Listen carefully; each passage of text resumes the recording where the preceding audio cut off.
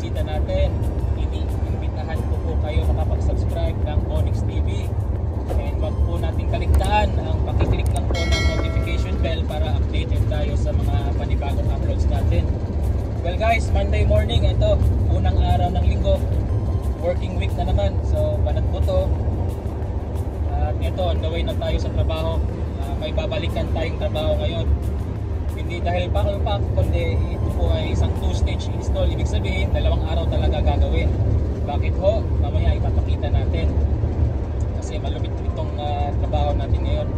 Malahiganting enclosure ho. Para What? sa mga matatangkad na tao ito. So once again, welcome. And sit tight and relax. And kita-kits ho mamaya sa site. Ayos!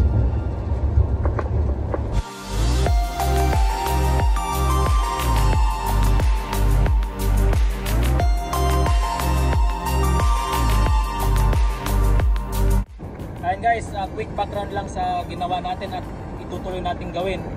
Eh, gaya na nabanggit ko kanina, two-stage install yung enclosure na to.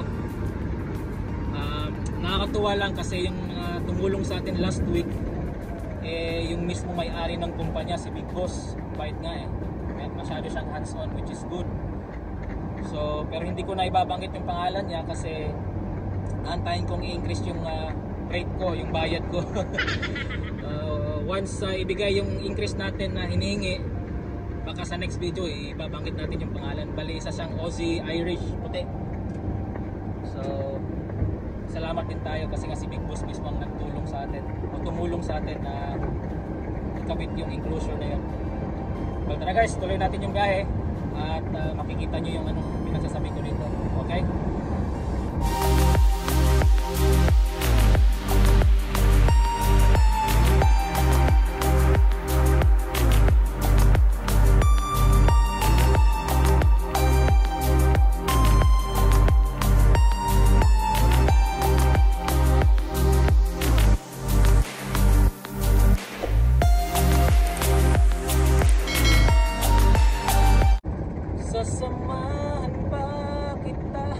Hanggang sa muli.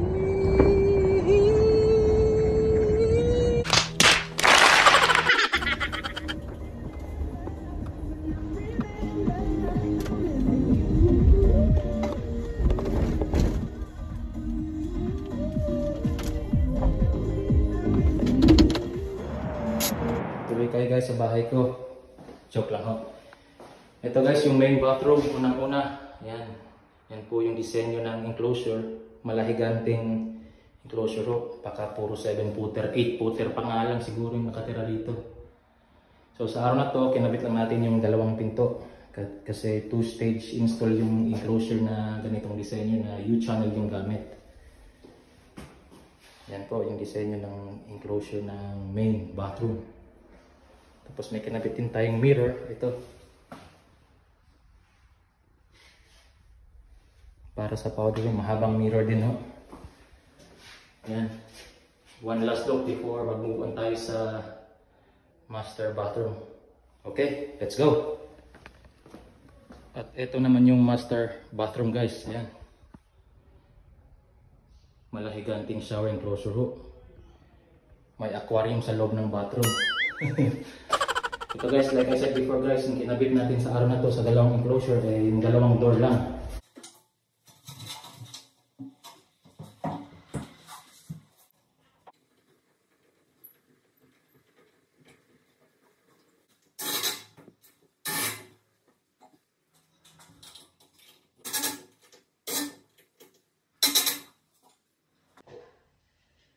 Kasi itong disenyo na shower na to, uh, two-stage install kasi nga U-channel fit lang. So yung first day, kinabit natin yung mga hinge panel.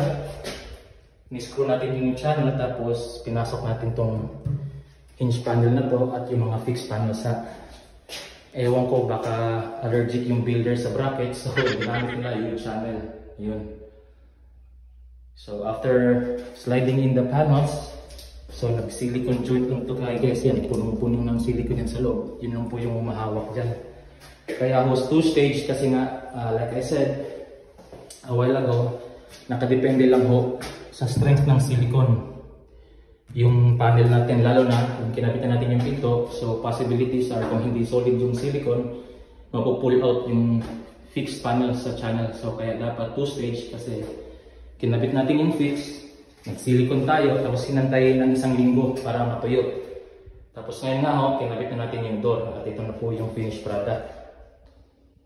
Malupit ho kaya lang ayaw ko yung design nito kasi dapat kasi nilagyan nila ng new channel din sa taas para mas stabilize yung ah, sistema kasi kita nyo naman ho umuga nagwo-wobble siya. Pero sabi naman ng builder sila na daw bahala na mag-silicone sa taas para maging stable na daw yung system o yung shower enclosure. Kaya tinira natin yung silicone dito sa joint. Yan ho. Yan yung silicone natin. Malinis na malinis to kasi nga display home ito. Hindi ko po ito bahay ha gaya ng nabanggit ko kanina. So biro lang ho yun.